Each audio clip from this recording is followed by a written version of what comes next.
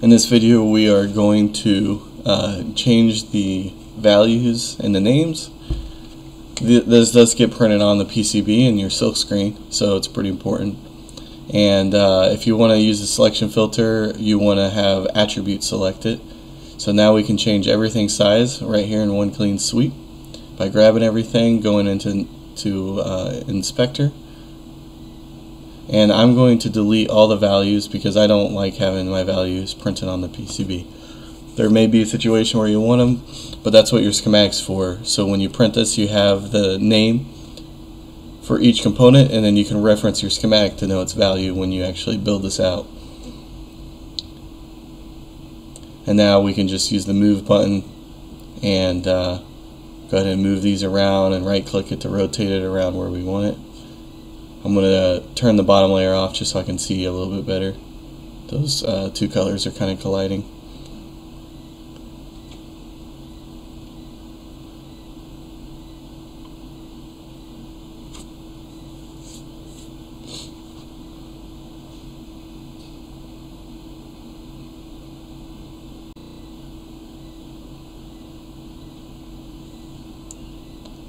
Not super important where you put these. Just make sure that uh, it's it's outside the component's outline because uh, otherwise you won't see it.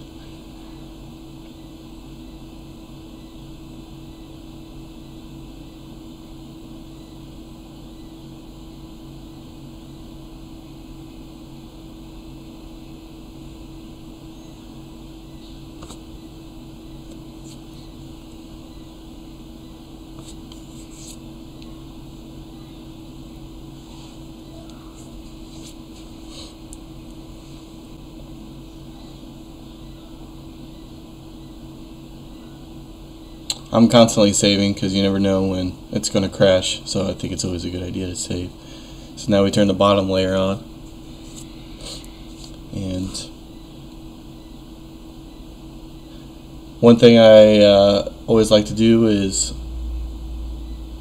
uh, put text on here and because our bottom of our board is pretty much all blank we're going to go ahead and uh, add some information so this is where you would maybe want to put a revision number or uh, create it by number or any amplifying information that you need printed with the silk screen. And so I'm just going to put my name, what it is, astable multi-vibrator, the date,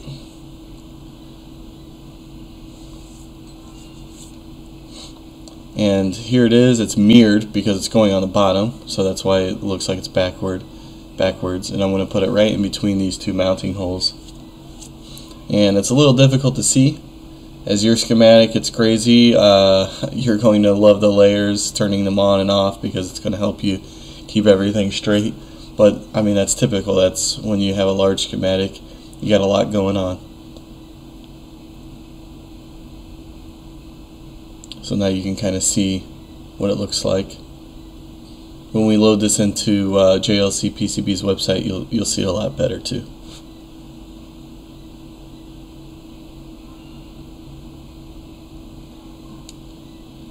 And there you go.